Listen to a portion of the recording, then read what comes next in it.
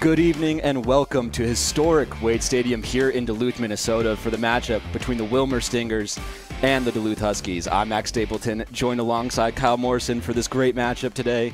And Kyle, the first two games of the season so far for the Huskies, they were not great offensively, but ever since they got back home, it's been fun to watch. It has indeed. In the first game of the series against the Mud Puppies on Wednesday, the home opener, they scored 17 runs, which was really highlighted by a grand slam from Noah Marcello, which came as a surprise to all of us because the Huskies only hit two home runs total in this ballpark last year. They're still struggling with some situational hitting, though. Yesterday, they did not cash in on their free runners in the 11th or the 12th inning, and they're only hitting 180 of the runners in scoring position as a team right now. So they're definitely going to have to improve that going forward if they want to keep on winning games. Yeah, if you're a Huskies fan right now, you're looking for someone to blame for the one and three start. You can't look at the starting pitching. You can't. Jake Hamilton, Pat Miner, Connor Oregon, the last three starters for the Huskies over the last three days, all put in quality starts. They all went five plus innings and gave up three or less earned runs. The starting pitching has been good, and they're going to hope to try to continue that tonight.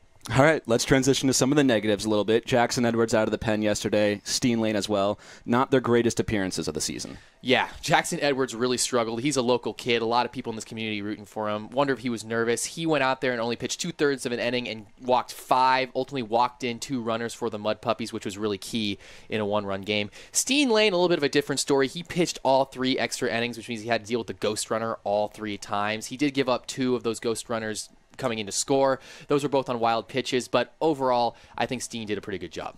One player in the Huskies organization everyone's been looking forward to seeing is Elie Kligman this season. But so far, a little bit of a slow start. He won't be seeing the field today. Yeah, and the Huskies still have a lot of faith in this guy. He's hitting 105 right now. He's 2 for 19. I mean, but he was offered a pro contract by the Nationals. Anyone who gets offered a pro contract obviously has credentials.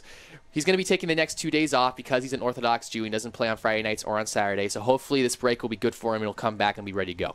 All right, let's take a look at our pitching matchups tonight. For the Huskies, it's going to be Isaac Seakosh in his second appearance, and for the Stingers, it's going to be John Klein, also his second appearance. Yeah, Seakosh was one of the lone bright spots for the Huskies in game one of the season on opening day. He went three innings pitch in relief. He struck out five, gave up no runs, so he's going to try and capitalize on that today. And then John Klein, he struggled in his first start for Willmar against Rochester. He went out there and gave up four runs in three innings, had some hard time with walks. So he'll be definitely coming out here trying to uh, pitch a better game in this one. Yeah, absolutely. The Stingers and the Huskies last year split their season series at four apiece.